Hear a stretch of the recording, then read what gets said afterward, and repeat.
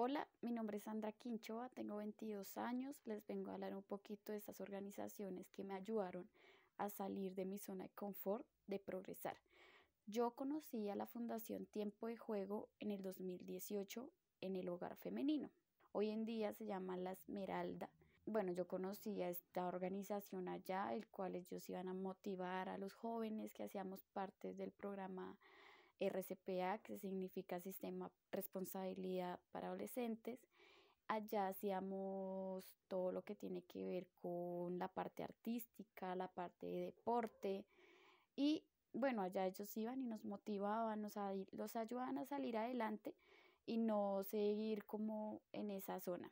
Yo salí de allá y después de que salí de allá conocí a una organización que se llama Fundación Nuevamente el cual también son, van de la mano con tiempo de juego.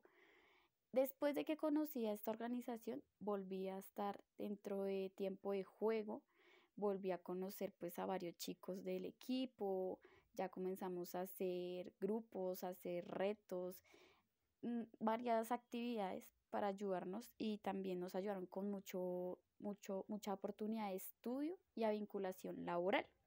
Después de que nosotros seguimos con tiempo de juego, ellos nos ayudaron a conseguir medias becas para trabajar con Disruptia. Nos ayudaron a vincular laboralmente. Hoy en día pues me encuentro trabajando con ellos en la parte de manejo de bases de datos. Puesto a esto pues es una motivación, me ayuda a salir de pues de mi de mi zona de confort que llevaba, de que salir a delinquir, porque uno sale allá con una mano atrás y otra adelante. Entonces, gracias a ellos, me di la oportunidad de estudiar y de trabajar. Pues ahorita estoy como lideresa manejando la parte de datos, lidero como otra chica con la que estoy. Entonces, somos, soy como lideresa enseñándole a ella, igual la opinión de ella para mí es muy válida y seguimos ahí. En este proceso me ayudó fue un impacto muy grande para mí porque salí, salí de lo que pensaba que nunca más iba a volver a salir.